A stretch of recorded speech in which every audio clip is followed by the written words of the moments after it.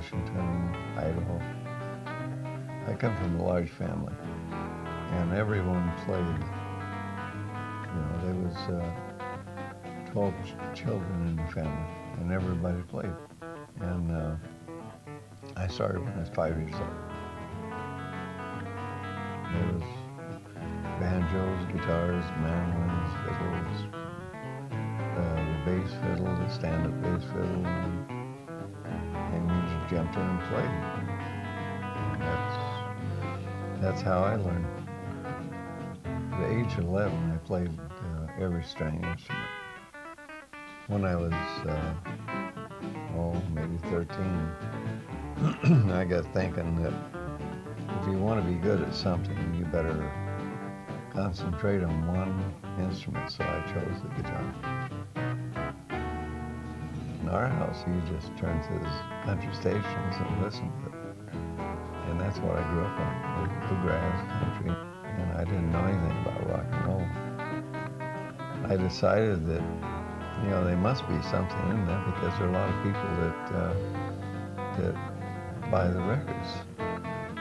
And so I thought I'd try to find out about rock and roll. So I saved up my money and I went and bought the top 10 singles. And I brought them home and I listened to them. And I couldn't figure out anything from those. I didn't like them.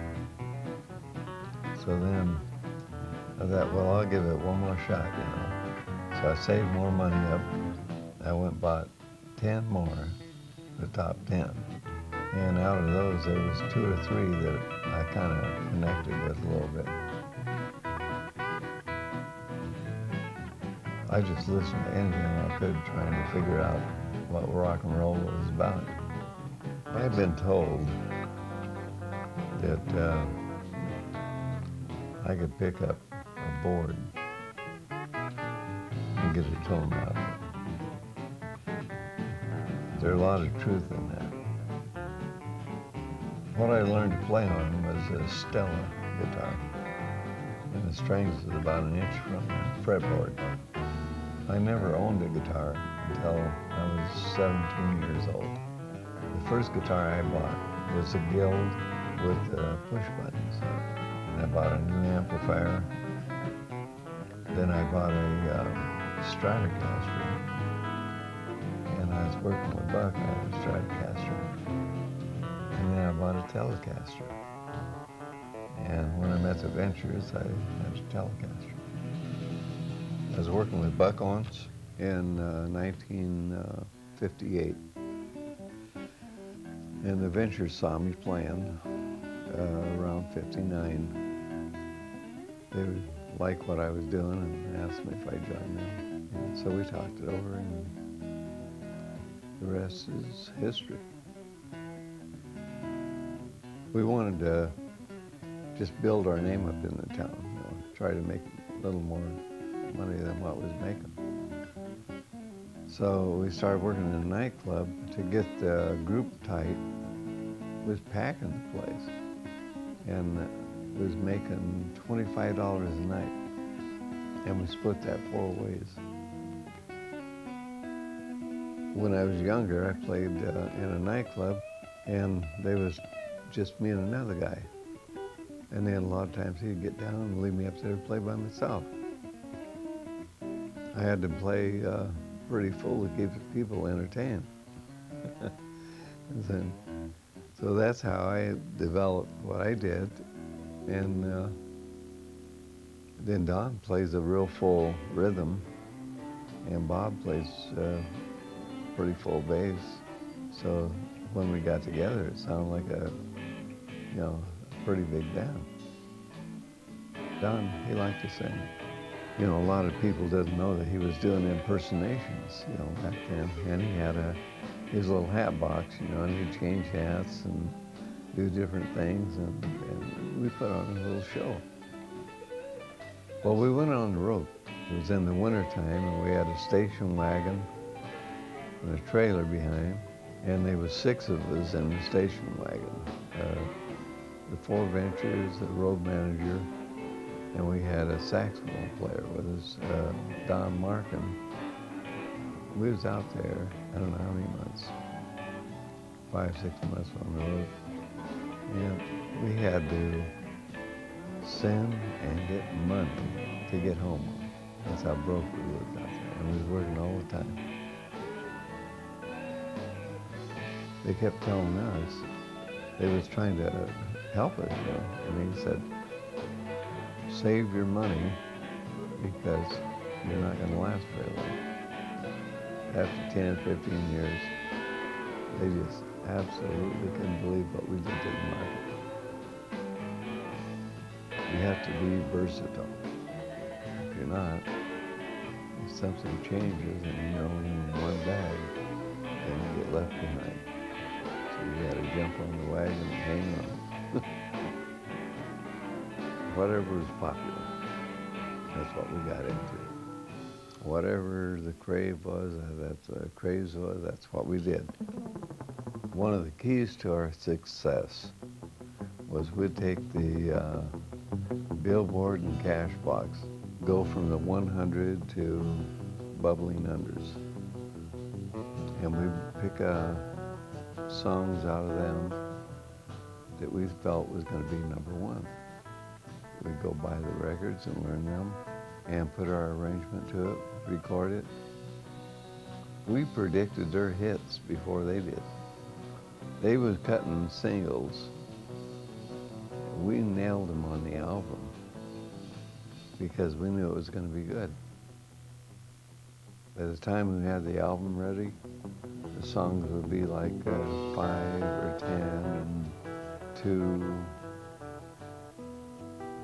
People that had the records, they didn't have an album ready. We was ready before they were. In 1963, I wanted to shave down the neck on my guitar a little bit. So I asked a friend of mine if he knew of somebody who could do that. So he sent me over to Bakersfield, California, to Semie Moseley. And he was working in his garage. And I asked him if he could shave down the neck on my guitar. And he said, yeah. And then he handed me a guitar and he says, uh, see what you think about this. So I played it, and I said, yeah, plays pretty good. So he offered me a deal for selling guitars. So I went back to the Ventures and I said, uh, I think there's something in this, you know, for, you know, enough money for everybody in this. So I told them about it and they, they wasn't interested. I went and paid for the guitar, I bought it for them, paid $300 and I took the guitar on the road. So then I would set the guitar up on the stand, or lean it, didn't have a stand, I leaned it next to the amplifier. And people would just swarm around that guitar. It was different. If you take the Stratocaster and turn it over and lay it down and draw it out, there's your Mosrite he added just a little bit more onto the part of the cutaway. But that's where the design comes from. I started selling a lot of guitars, and I was making pretty good money on the side. It played real easy. It was a fast neck on it. And that was a feature, a real good feature that sold it. There was nothing on the market like that. So the Ventures says, well, there might be something in this, you know. We got involved with it and we uh, built two factories, big buildings in, in Bakersfield. A lot guitar pieces, making like 500 uh, guitars a month. We was the sole distributor, he was the manufacturer. But that's how Mosrite got started.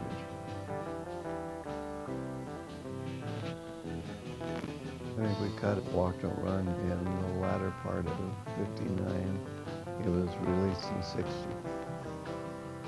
Bob heard it on the album, and uh, so he liked it and, and, brought the song to us from the album of Chet's. we put our arrangement to it and started playing it. Don's mother, Josie, she put up the money for us to record. And uh, studio that we recorded in in, in Seattle, it, uh, was called Joe Boles. And it was in his basement of his house. Two-track machine. We recorded the single there, and we recorded uh, one or two albums there. We was playing Walk Don't Run uh, three months before we recorded it. And we was getting so many requests for it.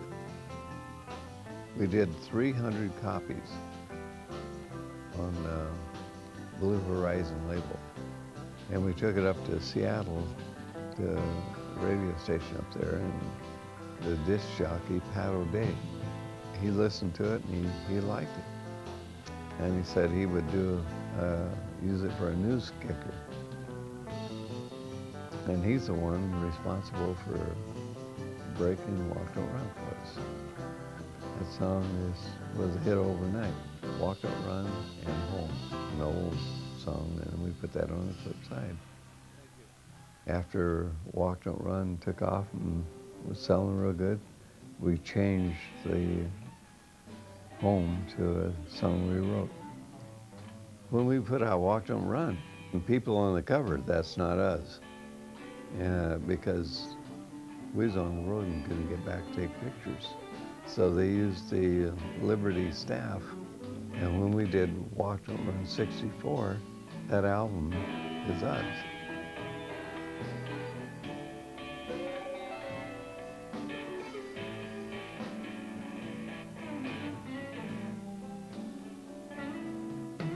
If you get a, a contract with a label, and you go in there to record, if it only takes you uh, 10 hours to record, or 1,000 hours, or 10,000 hours, whatever it takes, uh, that, today's time, that's going to be deducted from the royalties. You better be very well rehearsed when you go in there cut down the studio time. When you're saving time, you're saving dollars. There are a lot of difference today because if one person makes a mistake, it doesn't make any difference. You can still keep playing, and then he goes back over and does his part, you. But uh, in those days, you had to be very tight as a group because when you cut, that was it. And if it wasn't right, you had to cut it again in the studio, you played with his band. You put the bass and drums on one track and the rhythm and lead on the other. And if anybody made a mistake, you had to stop and start over again. And it took a lot of dedication. When I'm in the studio, I'm pretty creative. And I can come up with a lot of different sounds and stuff, you know. And uh, I don't know. I just think of new things to do. I love studio work. I'm really not an electronics person. You know, I don't know a whole lot about it. All I knew about it was we, instead of having two tracks, we had four tracks to work with. If somebody wasn't right, they could put their part over it.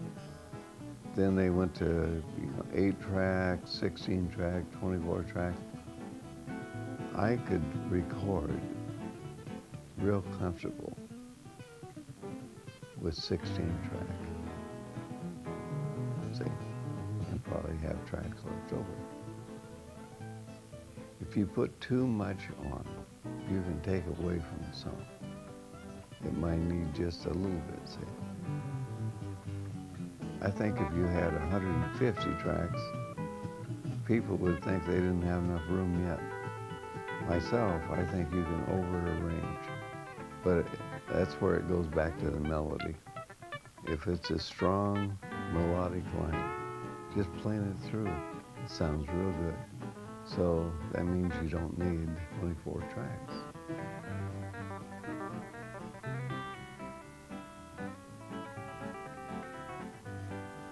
what makes everything go together good is the artist, the touch the artist has. That you can nail.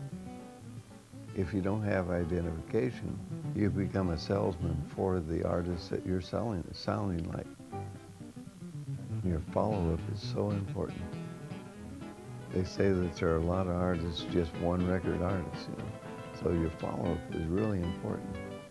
And uh, if you can keep coming out with things that keep the people's interest, that, that's how you become a superstar. My advice is, first of all, you should have a way to sell those things to get your money back for you. Otherwise, you're going to have it, you know, you're going to spend money or just going down, going down the drain. Have a way to get your money back by playing nightclubs or something, selling them like that. You got a shot, you know, doing it that way. At least you're going to get your money back and lose money. You got to watch some of these recording places too that advertise and boy, they really rake these people over the coals and just about break them, you know.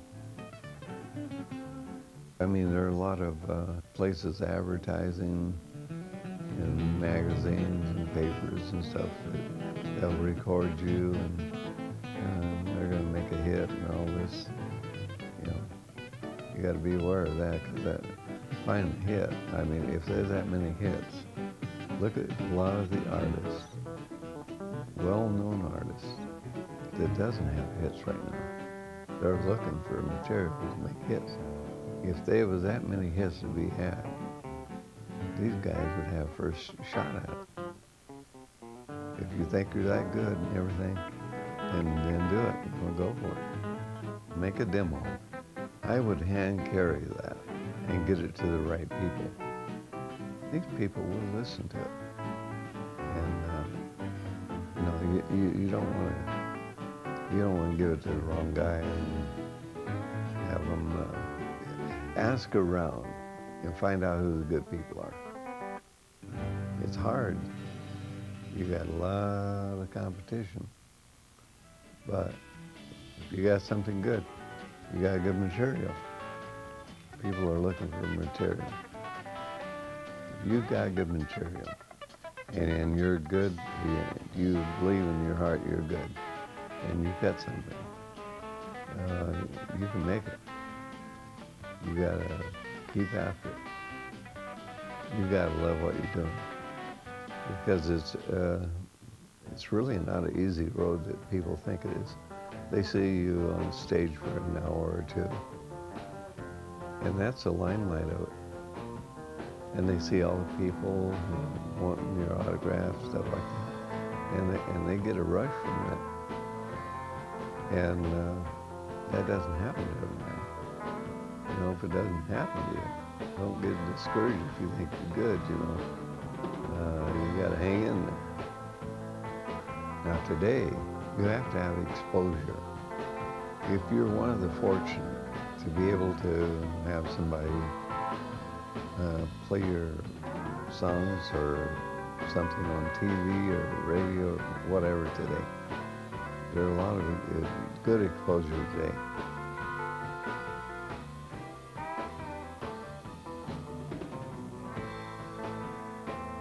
Problem is, people don't really understand the odds against you.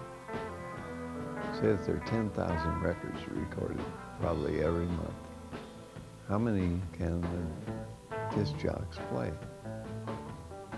They can only play maybe 25. So then, if they can play that many, but then the people that are going to get first shot is the known artists. So that's going to take up most of that. It may leave a space out there for uh, one or two songs, of new songs. These other songs, out of the 10,000, they may be a lot of real good songs recorded. It's going to hit the trash can because there's no room for them. Takes a lot of luck with it. But you, you have to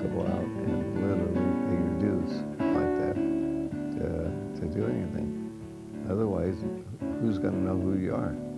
You're not going to buy the things unless there's a lot of money behind somebody promoting them. You have to have material.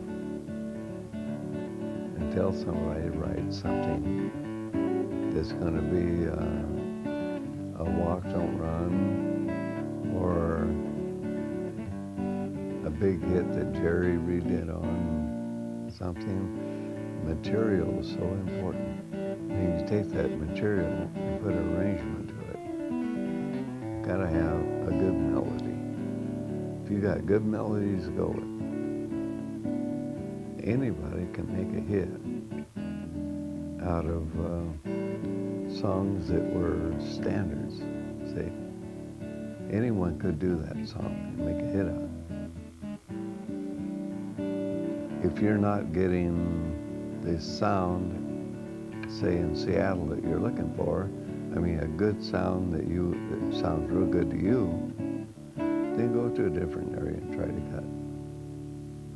If it sounds good to you, stay there. If it doesn't, find something that's going to sound good to your ear, you know, that you're satisfied with. You're the one that's got to deal with it. The guitar, in my opinion, has the best sound to your mind. It has a mellow sound. I mean, you can get real quality sounds out of a guitar. Uh, the acoustic guitar, the gut string guitar, they're just beautiful instruments, you know, to listen to. It's amazing the moods that you can change with a person with a guitar. Somebody that plays them well can, you know, really do a head trip on it. Make them cry, and you can turn around and play another song, make them the happiest person in the world, and just up in the air. I'll tell you what's good today. There opportunity for people to learn more about the guitar through people that have experienced it over the years. We're sharing everything that we've learned with them so that they can pick up from there and go on. And then someday they'll share what they learn, which will be a different level too. They never will be anyone that masters the guitar. Too much. When you think you've mastered it, just tune down a string. then you know you haven't.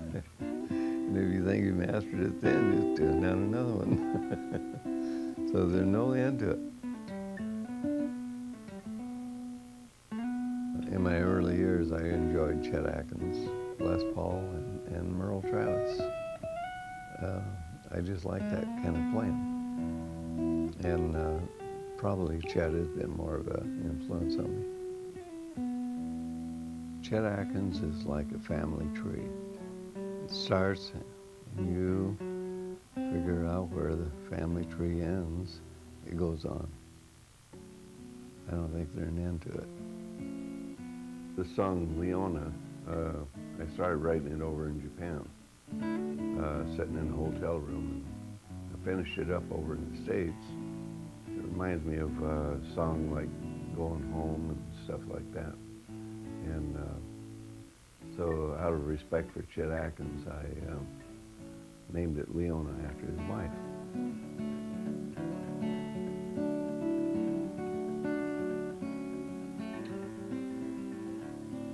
Chet Atkins was uh, an inspiration. He inspired me. I've inspired thousands, and it's because of him.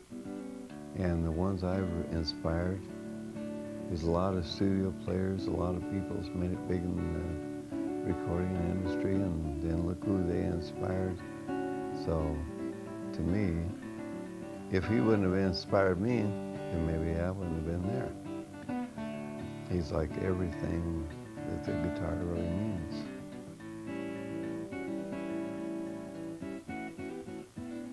This is the first time that Fender's ever changed the design of the Telecaster. The neck is laminated. It doesn't warp or anything. And as you can see, the headstock on it is tilted. Before you used to have metal things up here holding the strings down to put tension so they wouldn't jump out of the groove. The banjo key I use on it so I can, uh, it's a Scruggs tuner and and you can drop right down to a D. It's locked in when you tune it. You can go right back up to the E and it doesn't bother. You know, you're right in tune all the time. I laminated a body because I wanted hardwood here to get more sustain. And I put lighter wood out here. The screws are offset where this would have been a uh, corner over here. It's rounded off. It's very comfortable and you can get your hand way up on the neck. The pickups in it are Seymour Duncan pickups. Seymour and I worked on these to come out with a good pickup for this guitar. I like a solid magnet, so I, so I told him I wanted that.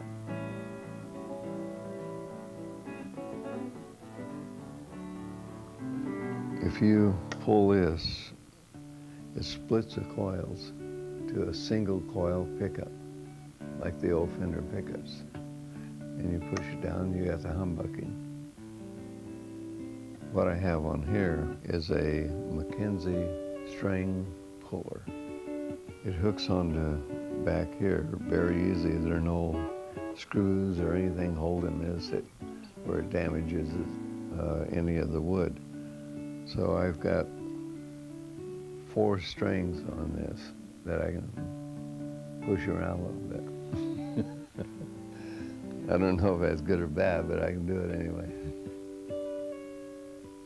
I used to wonder when I thought about how many guitars were made from different companies, the total amount. It's a figure that you can't even accept in your mind and try to figure out where they're selling, who they're selling to. For a long time, that bothered me. This thing's got to stop sometime. Here's how I justified everything. How many people every day turn 21? And there's your market. Somebody down here that bought this years ago, they want to trade that in on something else. And then something he may have traded in will be a collector's item. So this guy ended up with something else, and you know, uh, there's a never-ending thing to it. Someday, what if China and the U.S. become so friendly that it's like uh, going to Japan all the time and stuff like that, or to England or somewhere? What do you think the guitar market's going to be then? You're looking at a population of like 1.3 billion people. I mean, there are countries that we haven't even scratched the surface of. It gets bigger and bigger. So there never will be an end to the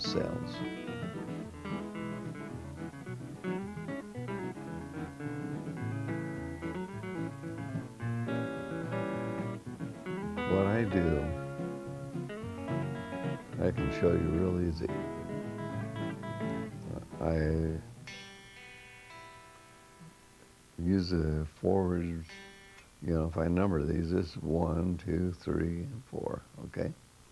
So I go, I use one, two, and three, okay? So that's one, two, and three in that order.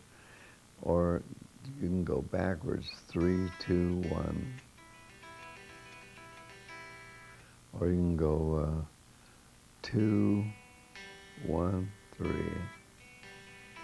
So it's two, one, two, three. Using these patterns, you start with that, and you can uh, really pick up on a lot of fingerstyle playing because those three patterns right there will help you to play and then later on you can learn a lot more you know like chicken picking and stuff like that and that's going like that that's it.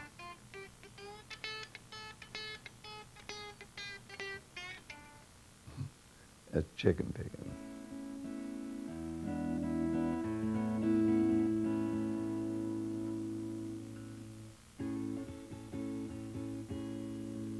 This is the technical part of it, real technical part, playing like that. And then you get it where you uh, use your fingers like like uh, with the A thing, and and you're using the two fingers. Uh,